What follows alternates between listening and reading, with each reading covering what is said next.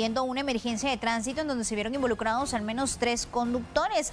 Esta emergencia ha ocurrido a la altura del kilómetro 142.5 de la ruta CA2 Occidente. Uno de los automóviles que está involucrado se trata de un transporte aparentemente extraurbano, pero también usted puede observar en pantalla cómo está lloviendo en ese lugar y esto obviamente complica el paso vehicular. Ya se están realizando distintas diligencias por parte de Provial, la Policía Municipal de Tránsito y también la Policía Nacional Civil. Esta es jurisdicción de San Antonio Suchitepeques. Esta múltiple colisión, como les mencionaba, involucra a tres automovilistas. Hay tres personas que resultaron heridas, por tanto fue trasladada a un centro asistencial. Hay vehículos que se encuentran completamente fuera de la vía, también se involucra un camión y se tiene que realizar todos los trabajos de limpieza correspondientes. A pesar que en pantalla se observa que el tránsito vehicular no está tan fluido en este sector, más adelante cuando ya tengan que llegar las grúas y se que realizar distintas diligencias, podría complicarse un poco más el paso vehicular. Las autoridades de Provial especialmente